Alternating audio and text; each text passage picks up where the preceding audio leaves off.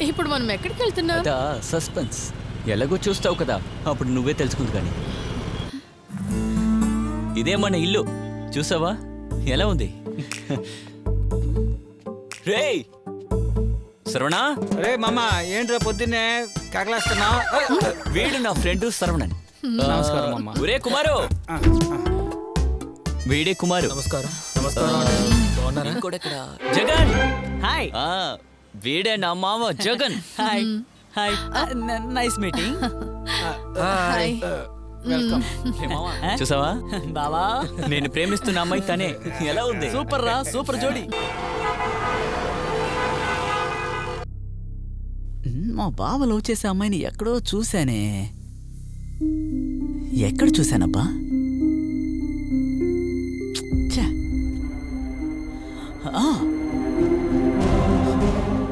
Puppies హోటల్లో. మహా మనం తిన్నగా మీటింగ్ వెళ్తున్నాం. ఆ, ఆ, ప్రియా నేను చెప్పిన పని పూర్తి చేశాకనే నువ్వు తర్వాత ఆఫీస్కి వెళ్ళాలి. యు అలాగే, గాట్ ఇట్ sir. మహా నువ్వు బండికు ఓకే సార్. హే ప్రియా. ఏంటి నిన్ను వదిలిపెట్టి ఇంకెవరినో తీసుకెళ్తున్నాడు? కొత్తగా ఒకటి వచ్చింది కదా అందుకే నన్ను వదిలేశాడు. నువ్వెప్పుడో పాత పడ్డావు గానీ అది సరే నీ పొట్ట మీద కొట్టిందా? అవునవునరా ఎంత బాగా చూసుకునేవాడో. ఇప్పుడు అలాగే నడి రోడ్లో వదిలేసి వెళ్ళిపోయాడ్రా. నేను ఎప్పుడో వదిలించుకొని ఉండాల్సింది. ఓయ్. అక్కడ చూసిన అమ్మాయి ఈ మహా కదా? ఛ!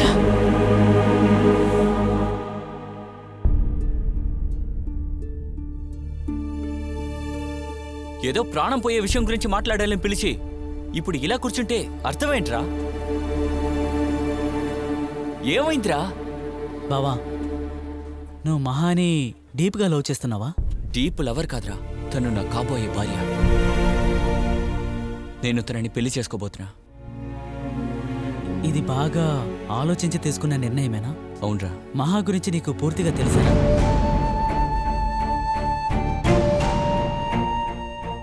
మహా అందమైన అమ్మాయే. కానీ ఏంటి చెప్పు. చెప్పరా? లేదురా. తను డబ్బు కోసం తెలుసు. ఏంట నువ్వనేది? డబ్బు కోసం. మనం ఎన్ని పనులు చేస్తున్నాం? తన కుటుంబాన్ని కాపాడడం కోసం పని కోసం వచ్చిన అమ్మాయిని ఈ సమాజం ఇలా మార్చేసింది. అయితే సమాజం కోసం నువ్వు త్యాగం చేస్తున్నావు. చచా నేను చేయబోయేది త్యాగం కాదురా నా స్వార్థం. తన జీవితం మొత్తంలో బాధని మాత్రం చూసిందిరా. ఇప్పుడు తనని పెళ్ళి చేసుకుని కొత్త జీవితం ఇస్తాను. రేయ్! ఎలారా ఇదంతా? మహా నాతో మాట్లాడకముందు తన అందం చూసి ఇష్టపడ్డాను. తనతో మాట్లాడిన తర్వాత తన మనసుని ఇష్టపడుతున్నాను. ఏంట్రా ఆలోచిస్తున్నావు? నేను తప్పు చేశానేమో అనిపిస్తోందిరా. ఏమంటున్నావు మావా మా అమ్మ మనసును అర్థం చేసుకోకుండా తను చూపించిన అమ్మాయిలందరినీ అందంగా లేరు అందంగా లేరన్నానే తప్ప ఆ అమ్మాయి మనసులను అర్థం చేసుకోవాలని ఇప్పటిదాకా నేను ప్రయత్నించలేదురా. కానీ ఇక నుండి మా అమ్మని నేను బాధ పెట్టాలనుకోవడం లేదు.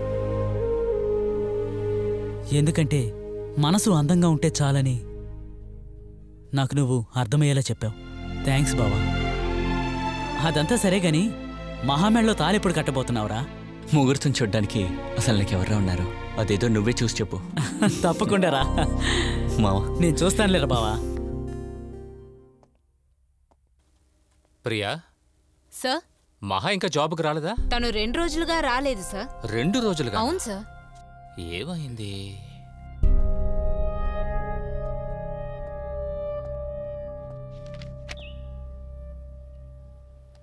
ఏయ్ సెలవువే వెళ్ళవే. బామ్మకేం కావాలో వెళ్ళి అడుగు.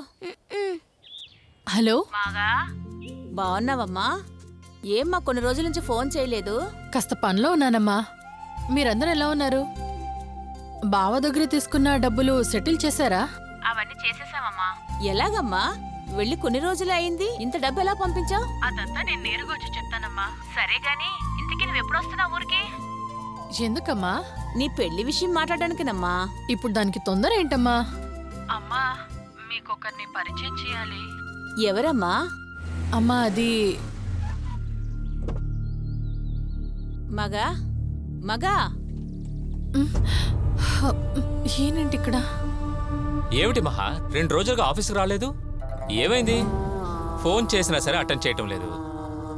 మలేషియా నుండి నా ఫ్రెండ్ వచ్చాడు. ఊటీలో రూమ్ బుక్ చేశాం. మనం ముగ్గురం వెళ్తున్నాం జాలీగా ఎంజాయ్ చేస్తున్నాం. ఓకేనా? సార్ నేను రాను. నన్ను వదిలేయండి. ఏం మహా? నీకు ఎంత డబ్బు కావాలో చెప్పు. నేనిస్తాను. లేదు సార్ నేను రాను. నాకు మంచి లైఫ్ దొరికింది. ఇకపై నన్ను వదిలేయండి సార్. ప్లీజ్. ఏంటి మహా? నన్ను చూసా ఇలా అంటున్నావు? నీకోసం నేను ఎంత చేశాను? రా మహా. దయచేసి నన్ను వదిలేయండి సార్. రా రా మహా. వచ్చి కారు ఎక్కు రమ్మంటుంటే. Sir please sir. రా. రెండు రోజులు తిరిగి వచ్చాను. ఏంటి మహా? సమస్య ఏంటి? చెప్పు. ఎవడిడు రేయ్ ఎవర్రా నేనా?